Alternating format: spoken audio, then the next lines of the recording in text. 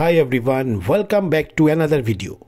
Today I will show you an amazing free download manager for Windows called AB Download Manager. It's a great alternative to IDM, Internet Download Manager, which is expensive and only gives you a 30 day trial. Whereas AB Download Manager is completely free, safe and makes downloading large files super easy and fast. If you are tired of slow downloading or managing the files manually, this tool is just what you need.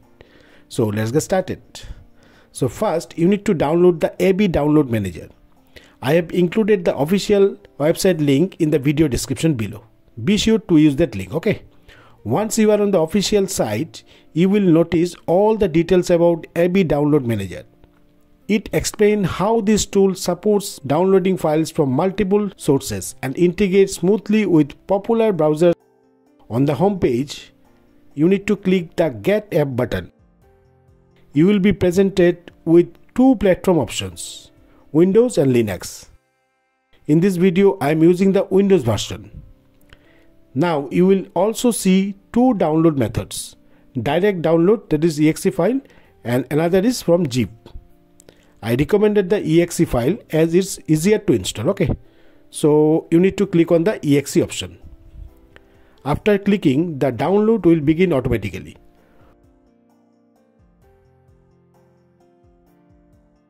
once the download is complete open the download folder the file name should be something like ab download manager setup.exe okay so you need to simply double click on the downloaded file to start the installation process and if you see a screen like this that's saying Windows protected your PC with a warning about an unrecognized app. So don't worry, this is a standard security features.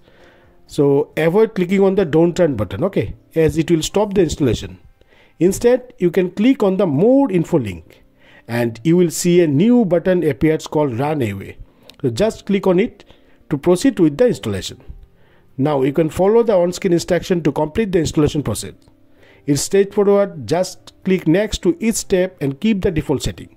Once the installation is complete, you need to click finish to exit the setup wizard and launch the application. When open AB Download Manager, you will see a clean and simple interface. On the left, there are options like File, Task and Tools.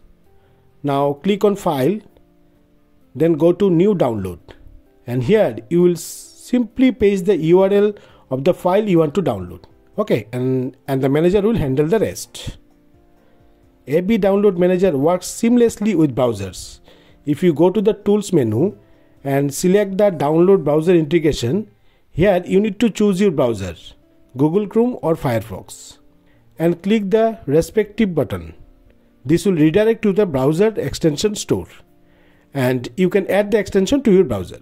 For Chrome, you need to click on add to Chrome, then click on add extension. Once added, you can pin the extension to your browser toolbar for easy access. Again, go back to the AB download manager and go to tools menu and select settings.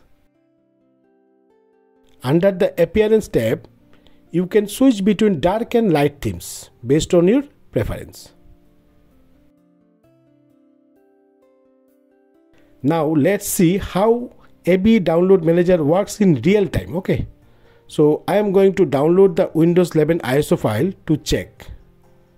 So go to the download page for Windows 11 and when you get the download link, right click on the download button. In the context menu, you will see a new option, download with AB download manager. Just click on it. The download manager will automatically capture the URL and you will see the file details on the download screen. Now click download and the process will start. From here you can pause the download anytime by clicking the pause button. This is really helpful if you are running low on bandwidth or need to disconnect temporarily. When you are ready, simply click on the resume button and the download will pick up right where it is left off. That's it. AB Download Manager is truly the best alternative to IDM, offering fast download, seamless browsing integration, and absolutely no cost. So go ahead and explore its features. If you found this guide helpful, give it a thumbs up, subscribe to my channel for more tech tutorials. Thanks for watching and I will see you in the next video.